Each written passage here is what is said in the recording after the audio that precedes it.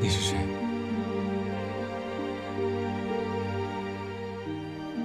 阿西，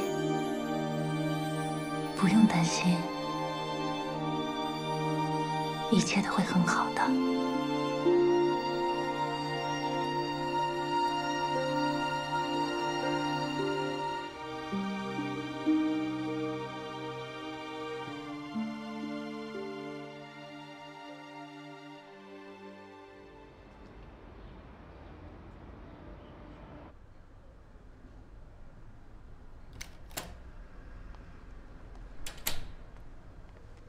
嘉玲，皮皮，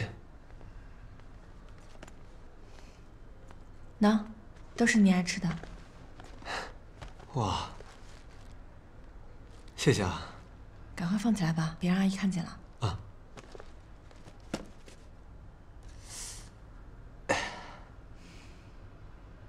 你刚刚进来的时候碰到我妈了吧？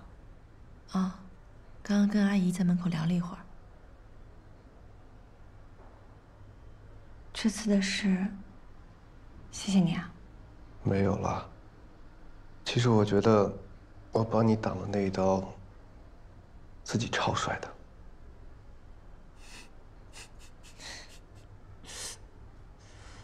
你感觉身体怎么样啊？是好一点了，但是医院告诉我说，除了刀伤，他们也不确定我还有什么其他的问题。我自己也不知道自己怎么了。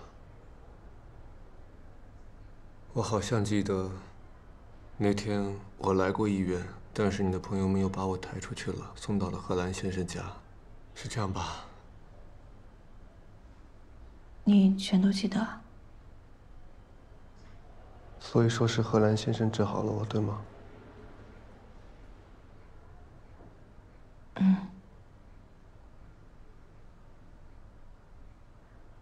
他现在还好吧？他没什么事儿。那你替我谢谢他，还有你的朋友们。嗯。这件事儿，你有跟别人说吗？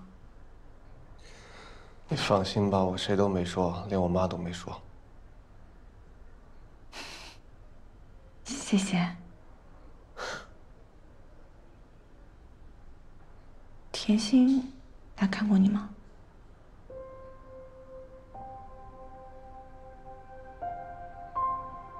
你住院的事，我让小菊告诉他了。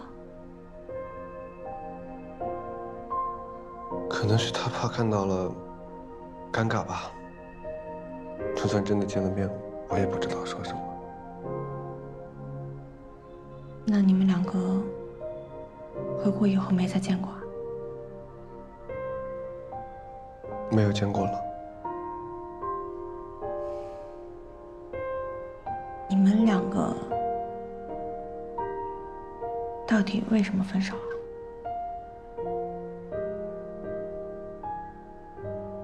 可能还是因为不合适吧。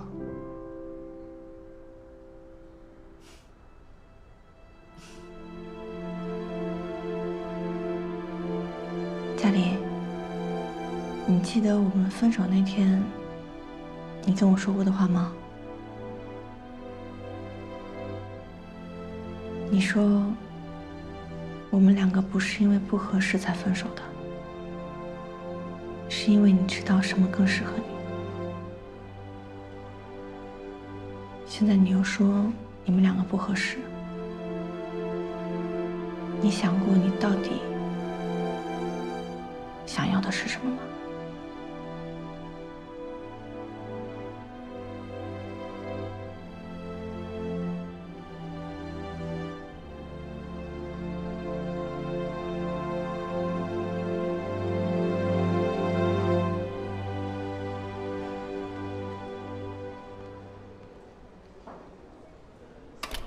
王小莫，我是，请进吧。啊，好。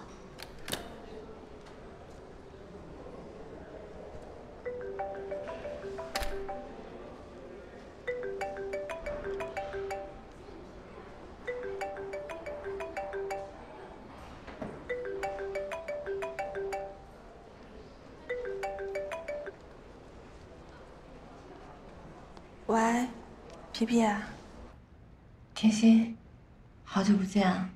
你最近好吗？我最近挺好的，你呢？你怎么样？我也挺好的。嗯，你待会儿有空吗？我想跟你见面聊一下。我，我现在在外地呢。你是出去旅游了吗？还是？不是，我那个，我在新公司面试。哦，那你先忙吧，我不打扰你了。哎，没事没事，我前面还有人在排队呢。你有什么事儿，要不电话跟我说。嗯，你知道嘉玲住院了吧？我知道。你是不是应该去医院看看她，或者给他打个电话也行啊？其实我和嘉玲分手之后，我就没联系过他了。我不知道该怎么去面对他。甜心，你们从美国回来以后，我跟你也聊过，跟嘉玲也聊过。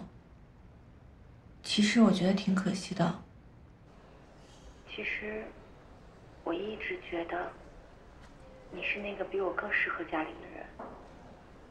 我以前常常想要模仿你，想要变得跟你一样，变成一个很适合嘉玲的人。所以，如果说嘉玲不是我的前男友的话，我真的觉得你们是天生地造的一对。所以，我真的觉得挺可惜的。皮皮，其实除了我和嘉玲之外，我心里还一直有个疙瘩，我解不开。我知道，可能到现在为止，你都觉得你对不起我，或者是嘉玲对不起我，但其实天心，那些都已经过去了。身为你们的朋友，看到两个这么合适、灵感很相爱的两个人，因为一些草率的原因分开，我觉得太遗憾了。你想想，如果摒除掉我的原因，你们两个真的会分开吗？你再考虑一下吧。